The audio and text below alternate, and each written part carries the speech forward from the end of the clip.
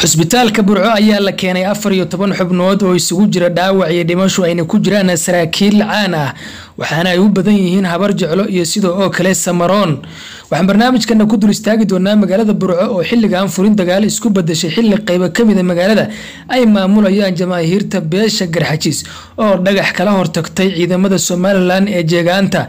Sidii jamaahiirtii laascaanood bilowgii halgankii deegaanada s c maxaad kala socotaa in wadooyinkii oo dhan loo furay ciidamada beesha garxajiis ee ku sugan gooja cadde. Xilli dhammaan ciidamadaasi furayaashii laga qaaday dareewaladiina ay gaarka ka hayaan ciidamada jeegaanta iyo xaalada magaalada burco oo sii xumaanaysa.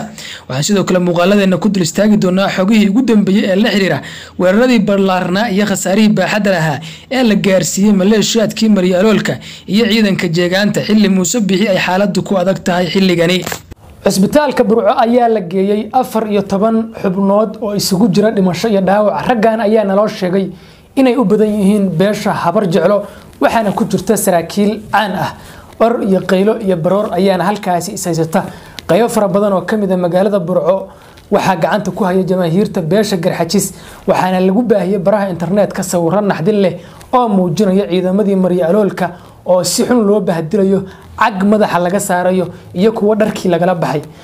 Halkan ayaad kala socon doontaan xog walba oo soo dhacda. Muuqaalkan meel fog inaga gaarsiiya leygta inoogu heliya caduun falowna soo dhaha darwiish t v na subscribe saarta gambaleelkana furta aad xiisadii ayaa ka sii daraysa. Magaaladii burco waxay isku bedeshay furin dagaal. Sida oo kale ciidankii somalilan gaar ahaan jeegaanta ayaa heegankii ugu cuslaa la geliyey. Xilli jamaahiirta beesha garxajisna ay ka bilaabeen gudaha magaalooyinka waaweyn ee somalilan banaanbaxyo ay ku muujinayaan sida ay u taageersan yihiin ciidamada beesha garxajis ee jabhadda dulmidiid ee uu hogaaminaya mujaahid oo fureen war soo dhacay goordhaweyto ayaa shaaciyey in taliska guud ee ciidanka s c uu cafis u fidiyey dhalinyarada beesha garxajis ee ku sugan gudaha taliska gooja cadde. Si rasmi ah ayaana loo ballan qaaday in iyaga iyo gaadiidkoodaba markaasi loo furi doono waddo ay maraan balse taliska gooja cadde saraakiisha ciidanka jeegaanta ayaa waxa ay furayaashii ka qaadeen. Taliyaashii iyo sidoo kale dareewaladii gaariyaasha teknikada ah ee garxajiska inta la xaqiijiyey ku dhawaad oo taliska s c ay xaqiijiyeen ku dhawaad saddex boqol ilaa laba boqol oo askari oo garxajis ah ayaa ku sugan gudaha taliska gooja cadde waxaana laloo xaqiijiyey in raggaasi dhammaantood maxaabiis yihiin korna laga ilaalinayo. Saacadihii hore ee saakii rasaas laga maqday gudaha taliska gooja cadde waxaana loo xaqiijiyey in hadalkii shalay ee garaad jaamac ee ahaa in la fasaxayo wiilasha garxajis. Ay isku dayeen inay baxaan ayaa laba nin oo jeegaanta ah la qaarijiyey waxaana markaasi la sheegay in ciidamadii garxajis laba baabuur oo teknika ah ay baxeen oo dhankaas iyo hawdka ay aadeen.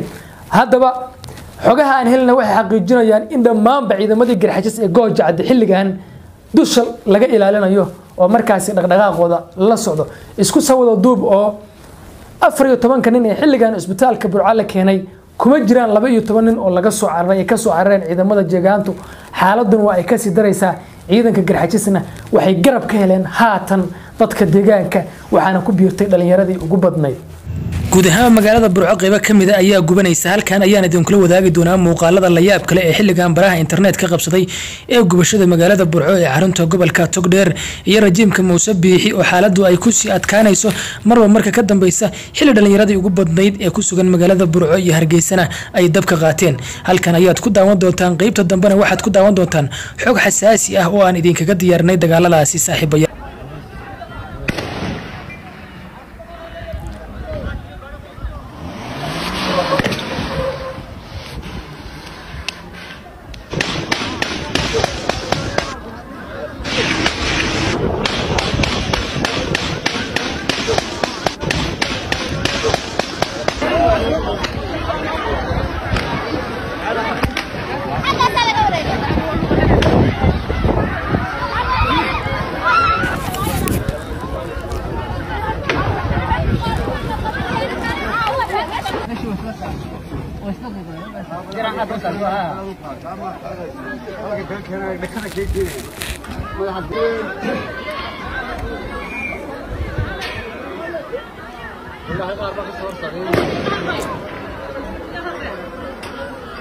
好了，来啦，不玩了。Goordhaweyto waxaan la hadalnay goobjoogayaal ku sugan magaalada burco. Waxay noo xaqiijiyeen in caaway magaaladu ay kacsan tahay. Dhalinyarada beesha garxajisna hub ay aada u fara badan ay u gacanta u galay. Rajiimka muuse biixi oo beesha garxajis gumaysanayay soddonkii sane ee la soo dhaafay ama beelaha habar awal iyo habar jeclo oo beeshan gumaysi weyn ku haysay dumarkooda iska kufsan jiray. Sidoo kalena markaasi raggooda hortooda ku qaarijin jiray ayaa marakan ay xaaladu ku adag tahay ninka lagu magacaabo mujaahid oo furen ayaa ilaahay u soo diray garxajis waxaana xilligan ay bilaabeen markaasi in xaaladii ay sii adkeeyaan. Sidoo kalena markaasi ay weerar culus bilaabaan iskana dhiciyaan jeegaanta. Haddaba adiga daawada qeybta hoose aragtidaada sidee ayaad u aragtaa halganka beesha garxajis ay xilligan ku jidho iyo dagaalka kharaar ee ay kula jirto rajiimka muuse biixi ee argagixisada ah saacadihii ugu dambeeyey ganacsatada beesha garxajis ayaa waxa ay xaqiijiyeen in markaasi ay dhaqaalo fara badan hurayaan naftoodana u hurayaan. Sidoo kale afayeen u hadlay ciidamada garxajis ayaa isagana afka furtay oo shaaciyey in ay gudaha u soo geli doonaan hargeysa. Sidoo kalena markaasi ay muuse biixi ay dabka ka kicin doonaan. Sidoo kalena markaasi uu soo dhammaaday waayihii argagixisada soomaalidiidka xogayaable ayaa soo baxaya kuwaasi oo xaqiijinaya in beesha garxajis aysan ku qanci doonin kursiga. Sidoo kalena markaasi ay rabaan markaasi dagaal rasmi ah oo ay la galayaan rajiimka muuse biixi ee argagixisada ah. Dagaalada ayaa sii soconaya waxaana xaaladdu ay u muuqataa in garxajis uu guuleystay sidoo kalena markaasi iyaga oo xor ah ay dhulkooda xilligan ku sugan yihiin arrimahooda iyo aayahooduna ay ka tashanayaan. Dad fara badan ayaa ka jawaabay arrintan isaaqa waxay leeyihiin war annagu waan iska heshinaynaa balse afhayeen aada ku jira jabhadda garxajis ciidankeeda oo hadlay ayaa waxa uu yiri heshiis aan muuse la galnaa waa adag tahay si uu markaasi ku dhawaabo eh annagu dalkayaga iyo deegaankayagaba waan difaacinaynaa waxaana diyaarnahay ayuu leeyahay inaan gabaareyda iska celinno sidoo kalena markaasi aan cagta markaasi saarno aan dabna ka kicinno oo markaasi aan meyd ka dhigno ayuu leeyahay. Haddaba daawadayaal kaftankii ma laga baxay kibirkii ma lagu jabay. Allah u naxariistee saada cali warsa